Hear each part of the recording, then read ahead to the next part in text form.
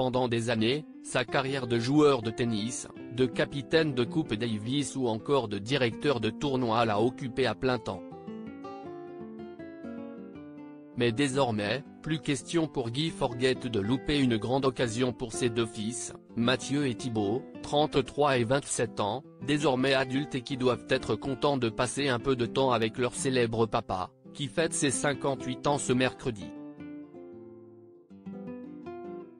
Même si aucun des deux ne l'a suivi dans le tennis, le cadet, qui est décidément son portrait craché, s'est lancé dans la finance.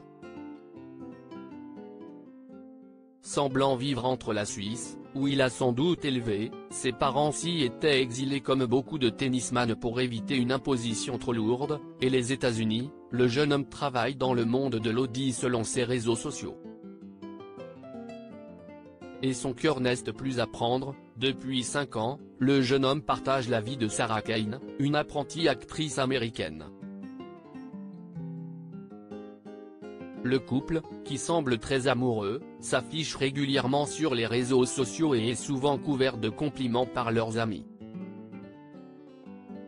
Ou par Mathieu, l'aîné de la famille, qui a suivi un chemin totalement différent de celui de son frère, si l'on croit son profil Instagram, bien plus professionnel, le jeune homme est danseur et s'amuse à poser partout, parfois avec son frère.